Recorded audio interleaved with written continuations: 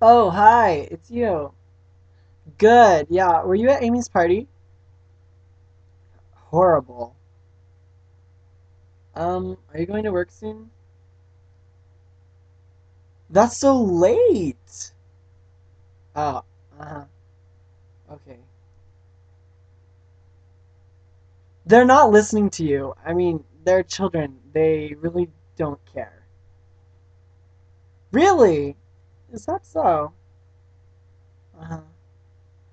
Well, do you have like a, um, like a savings fund? Well, I was just I was just thinking, um, gosh, uh, sorry.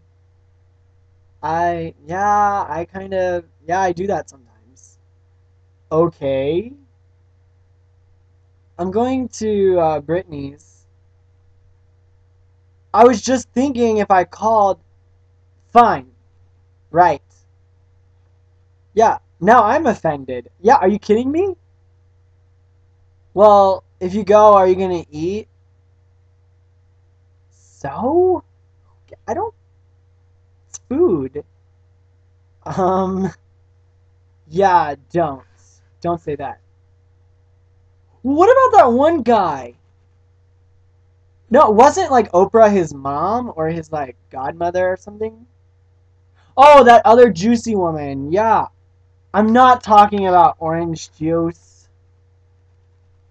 Yeah, that's just your imagination. Changing the subject. Well, are you going to the party tonight? Like, do you have anything better to do? You read now? No, I like to do I like to do other things on the bus.